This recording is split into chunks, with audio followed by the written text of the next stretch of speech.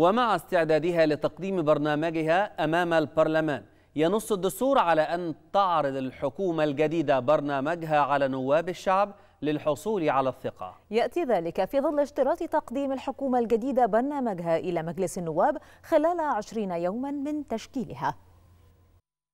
بعد تشكيل الحكومة وأداء اليمين الدستورية أمام الرئيس السيسي تبدأ الحكومة الجديدة برئاسة مصطفى مدبولي في إجراءاتها لنيل الثقة. إجراءات تأتي في إطار المادة 146 من الدستور المصري والتي تنص على أن تعرض الحكومة الجديدة برنامجها على مجلس النواب للحصول على ثقة أغلبية أعضاء المجلس. وذلك بعد تقديم الحكومة برنامجها لمجلس النواب خلال 20 يوما من تاريخ تشكيلها. القانون ينص على أن يقوم مجلس النواب بمناقشة بيان رئيس مجلس الوزراء والذي يحال بعد ذلك إلى لجنة خاصة برئاسة أحد وكيلي المجلس بحيث يراعي تمثيل المعارضة والمستقلين لدراسة البرنامج وإعداد تقرير عنه خلال عشرة أيام. ويصدر قرار المجلس في شأن حصول الحكومة على ثقة أغلبية أعضاء المجلس خلال الأيام العشرة التالية لعرض التقرير عليه. إجراءات عديدة إذن.